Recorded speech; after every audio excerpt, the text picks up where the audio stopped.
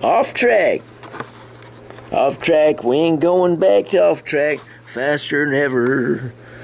These faster, these faster than ever wheels look good on these off-road SUV thingamajiggies.